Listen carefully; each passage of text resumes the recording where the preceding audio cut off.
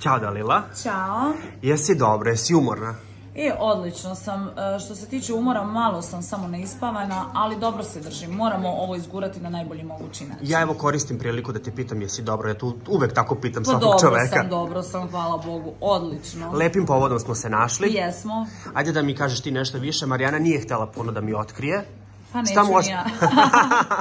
Mislim, ono, kad Marijana nije htjela o svojoj pjesmi da otkriva i spotu kojim radimo, neću Kako je došlo do saradnje? S obzirom da ste cimerke i to sve, kako si došli na ideju kao ajmo duetsku pesmu? Pa Ko je predložio to? Vidi, e, nije to duetska pjesma, to je Marijanina pjesma u kojoj ona želi da učestvujem i ja. Dobro. Tako da, ovaj, negdje smo se pronašli tu, ja nisam neko ko želi da snimi pjesmu, ali Marijana je neko ko mene nagovara već, eto, koliko, sme, koliko se družimo zajedno da to uradim, međutim, ja to zaista ne želim, nekako se ne pronalazim u tome, više sam tu da joj pružim podršku. Eto, Ali gledao sam te dok si snimala kadrove, bome izgledaš. Pa kažu mi svi da dobro izgledam.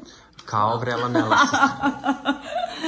Šalim se, ne, stvarno sam tu došla da joj pomognem i da Jel se plašiš možda osude uh, javnosti, komentara, hejtovanja, svega onoga što će biti kao vidi ova sad pevačica? Ja, bože me sačuvaj, pa ja sam prošla takvu torturu da, da svaki taj hejter koji mi kaže bilo šta je za mene ono, blok, čao. Ne zanima me, ne bavim se hejt komentarima i ljudi, ti ljudi koji mene e, hejtuju kad budu shvatili da mene to apsolutno ne dotiče, ja se nadam da će jednog dana prestati. Do tada neka uzalud troše svoje vrijeme i prste na tastaturama. Uh, koliko si se zapravo promijenila? Koliko si ojačala nakon Mnogo sam se svega što ti, što ti se izdešavalo u životu? Mnogo sam se promijenila, mnogo sam ojačala, mnogo radim na sebi i mnogo, e, mnogo da, da ti kažem, osjećam da se penjem ljestvicama uspjeha i da apsolutno te neke stvari koje su iza mene bile su mi postale totalno smiješne i banalne, iako sam mislila u jednom periodu da će me baciti u neku veliku depresiju i da neću moći da se oporavim od toga. Međutim, hvala Bogu, sad mi sve ide na bolje. A, Jel ti bolje bez dečka ili sa dečkom? Najbolje mi je kad sam sama, kad sam solo. Eto, po prvi put u životu da ti kažem da sam solo i da, da se osjećam onako baš rasterećeno. Znaš kad nemaš ono da te neko gleda, da te neko cima, što si pogledala ovamo, što si pogledala tamo, da, da te pritišće za bilo šta, mogu da radim što želim i to je to. Jako se lijepo osjećam. A, kako je živeti sa cimerkom? Odlično. Ne viđamo se uopšte. Osim noću. Ne, ne viđamo se, da, ovaj, Marijana isto radi, ja sam u nekim obavezama sad e, oko pripreme za novi posao koji sam dobila, tako da ono, baš se, baš se rijetko sretnemo, ali kad se sretnemo to, znate kako završi, mislim.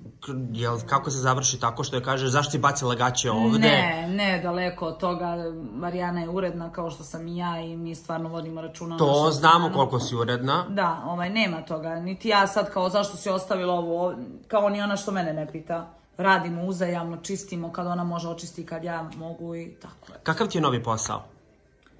Savršen. Šta ćeš da radiš? Čime ćeš? Preponosna sam zaista, ne mogu ništa puno da otkrivam detalje, ali eto jedino što mogu da vam kažem da sutra idem na potpisivanje ugovora za stalni radni odnos i to je to. Ovaj, imaću svoju autorsku emisiju i ne mogu ništa više da ti kažem. Bićete upućeni. Znači, bit ćeš svakako. u medijima. Znači, Naravno si- da ću biti u Ne ideš u medijima. medicinske sestre i to. ne idem u medicinske sestre i ne idem iza kamera, bit ću ispred kamera. Ispred kamera, znači radit ćeš deo voditeljskog posla. Tako je. To je isto jako lepo i pohvalno i, i, i za Da. tebe. Uh, ajde sad moram da, napravio sam lepo uvod i sve, opustio sam te, sad da te pitam ako malo druge stvari, vezane za reality.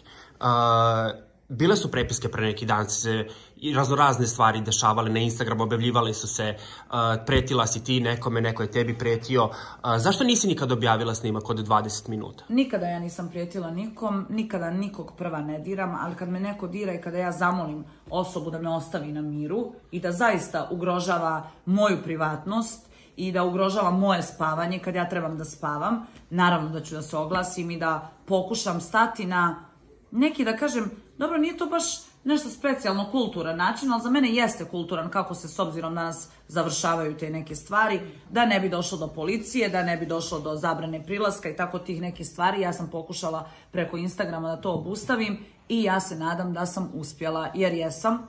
Ovaj, posle tih dana naravno više nije bilo oglašavanja nikakvog. Čujem da su bile neke isto ovaj, prepiske po storima, ne znam nija šta, ovaj, ali ja se nisam oglašavala na to, hvala Bogu nemam pozive i to mi je najbitnije. Ovaj, I ne znam šta bih ti rekla sada komentar. Čekaj, se to dešavalo i ranije? Jeste, to se dešavalo, sam ja čutala na to i kada mi me neko pitao od novinara da li ima... Zašto? Pa zato što nisam željela da, da budem neko ko sada priča kako mene zove bivši, kako on, ne znam, ne može bez Ne pitam mene. te zašto se to, zašto te zove? Zašto me zove? Pa Jesi mu treba- dužna nešto? Bože me sačuvaj, ne znam. Dužna sam Jel te voli? Jel mu, Ja, to ne, ja ne ulazim u to da li on mene voli ili ne voli, da li on mene e, zove zbog nekih drugih stvari, ja to zaista nemam pojma i ne ulazim u to. Prvi poziv, jedino što mogu da vam kažem je da je bio isključivo zbog toga što je on načuo da je meni loše u mojoj tadašnjoj vezi, pa eto kao da je meni neka loša stvar urađena, pa to bože da se on nađe da mi pomogne. On koji mi je napravio mnogo, mnogo loše stvari u životu. I ovaj, zbog toga sam iskulirala, rekla sam, ajde stvarno možda je pomislio to u svojoj glavi, Međutim, krenule su tu poruke da stižu i ono, znaš, uznemiravanje svako jutro u pet ujutru sam ja dobijala pozive sa skrivenog broja.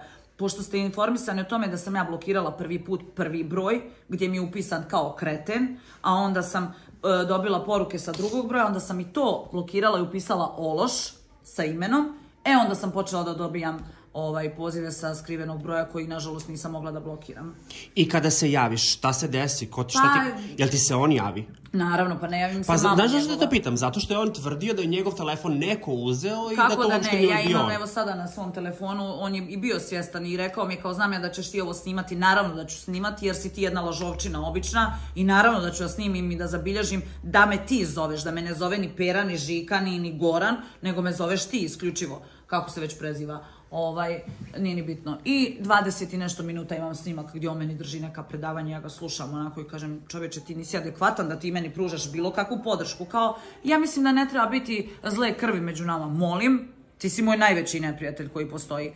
I, ovaj, I eto, to je to. Tako da imam taj snimak, a poslije onda kad je nastavio ono jutro da zove kada sam prepiske izbacila, snimila sam čisto da se zna jer su počela mi stižu poruke, ma to ti zoveš samu sebe i o- mislim ono znaš nebuloze. Tako da sam snimila i onaj trenutak kada on kaže halo, halo, jel Dalila, jel Dalila i to sam okačila isto. Ovaj, tako da U eto. kakvom je stanju bio kada te pozvao? U kakvom stanju je inače on kada je na polju? Pa ne bih ja o tome da komentarišem, zna se. To sam teo da te pitam, Zna da li je kakvi bio njegovi, pribran ili je... kakvi njegovi klipovi kruže, ovaj, ali znate kako kažu, ako vas nije zvao iz kafane, nije vas ni volio. Dobro.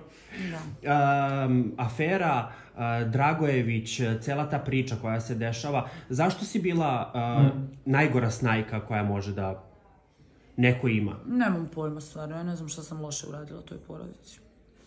Evo, ne znam. Evo, I dan danas znam. posle svega ti si opet najgora. Pa ja I sam kad i- si ostavila Dena. Oj, dan danas sam ja najgora i dan danas se oni nazivaju zetovima, ovo ono, provokacije neke po Instagramu. Ja se ne palim na to. Mislim, ti okačiš e, Filipa i njegovu sliku i napišeš zet u kući, a taj ti zet bio sa tvojom djevojkom koju voliš sada najviše na svijetu. Pa jel ti zet od djevojke ili ti je zet od bivše žene? Odluči se. Mislim, ono, znam sad kad bi ja Dalila se oglašavala preko storija koliko bi to prepucavanje išlo u nedogled. Zaista mi moja profesija ne dozvoljava da se bavim više takvim stvarima. Dobro, uh, ja ti neću više zadržavati. Hvala ti puno i na ovome.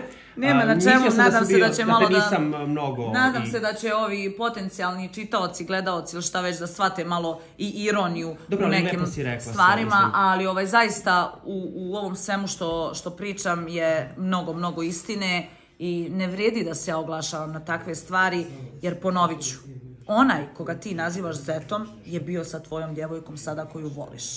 Toliko. A bivša žena već odavno te ostavila i zaboravila. Toliko. Hvala ti. Ćao.